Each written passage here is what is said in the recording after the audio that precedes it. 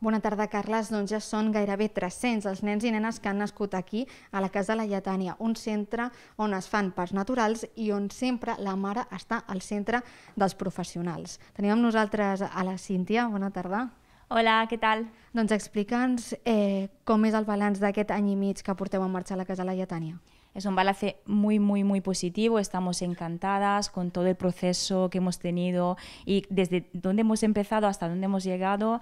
La verdad que es un placer venir aquí cada día, acompañar a las mujeres los bebés y sus familias en este viaje, ¿eh? en el que nos sentimos absolutamente comprometidas.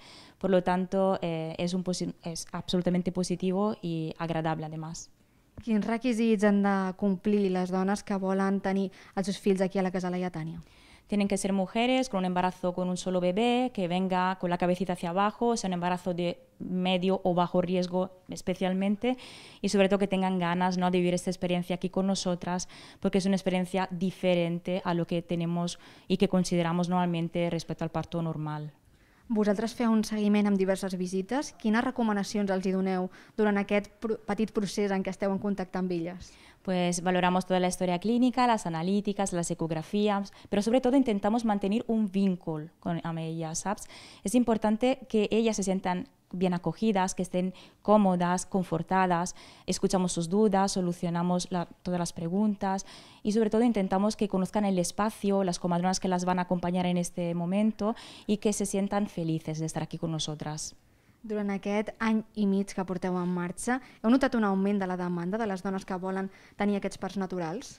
Sí, hay un aumento de demanda, sobre todo de conciencia de este proceso, porque no es un proceso médico parir, es un proceso normal del cuerpo de la mujer. De hecho, este proyecto está centrado en la figura de la mujer y de su familia y es una unidad liderada por matronas que son matronas expertas en, casa, en parto en casa y sobre todo en medicina integrativa para poder acompañar de manera más fluida todo el proceso del trabajo de parto, el parto y las primeras horas después, ¿no? el puerperio.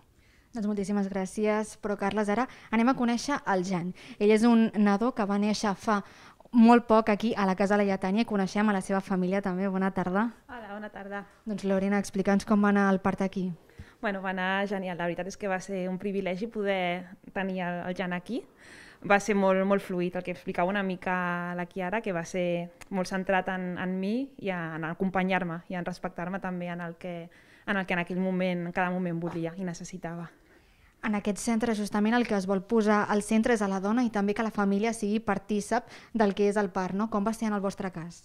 En el nostre cas, bueno, anava acompanyada del Jordi, la meva parella, i també teníem una dula, la Maria, que també ens va estar acompanyant durant tot el procés, i l'Alba, la, la, la llevadora d'aquí, que ens va atendre durant tot el, el procés, que també li estem super agraïdes.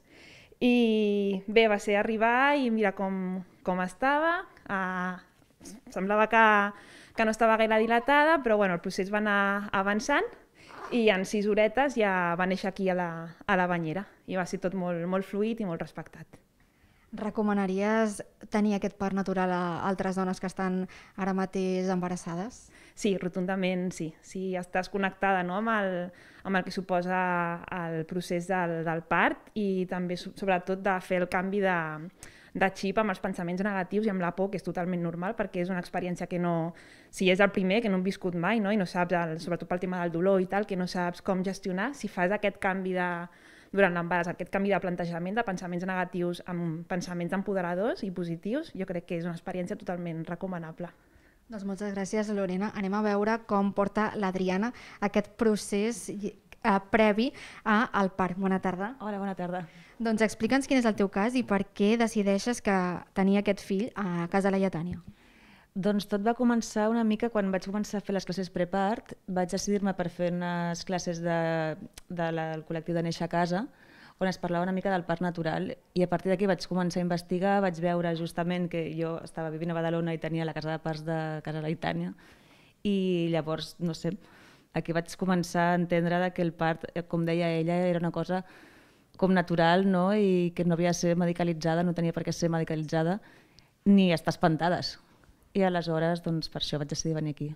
Has començat en aquest seguiment que fan des del centre. Com estan en tota aquesta preparació? I ja no només en relació amb el centre, sinó també amb tu mateixa, com ens explicava la Lorena, de treure totes aquestes pors.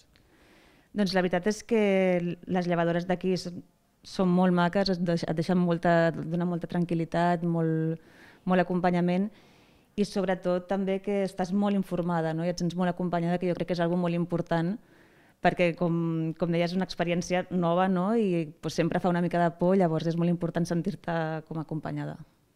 Doncs moltíssimes gràcies, Adriana. Doncs, Carles, avui hem conegut aquesta casa laietània i també la manera en què es preparen totes aquestes dones per poder arribar fins aquí i que aquest parc natural surti com elles mateixes pensen que ha de sortir.